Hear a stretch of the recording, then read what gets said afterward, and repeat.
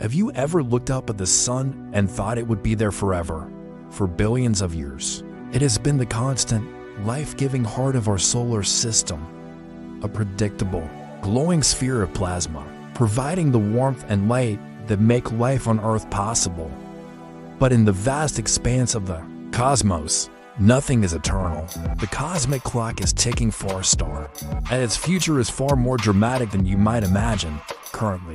The sun is in its main sequence phase, a stable and peaceful middle age. It's about 4.6 billion years old, and it has enough hydrogen fuel in its core to keep shining just as it is for another 5 billion years.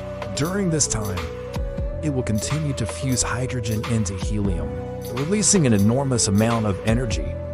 But this fuel won't last forever. When the hydrogen in its core runs out, the sun's final act will begin. The core will start to collapse under its own gravity, heating up immensely.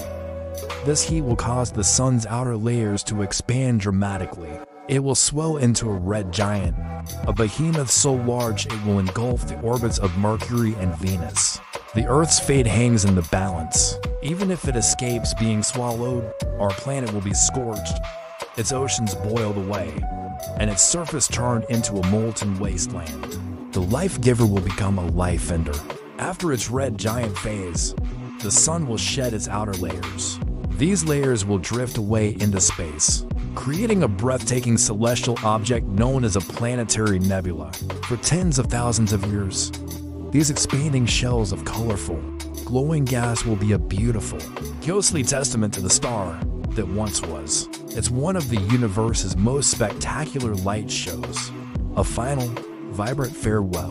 What's left behind at the center of this cosmic art piece? The sun's core, a super dense, Earth sized remnant called a white dwarf. It will be incredibly hot at first, but with no fuel left to burn, it will simply cool down and fade over trillions of years. It will become a cold, dark cinder, a black dwarf, wandering silently through the void. One day, even our sun will fade, leaving our solar system in eternal darkness. A quiet reminder that in the grand cosmic story, everything has a beginning and everything has an end. Thank you for joining us on this journey through time and space. If you found this cosmic story as fascinating as we do, don't forget to like, subscribe, and hit that notification bell for more explorations into the universe. See you next time.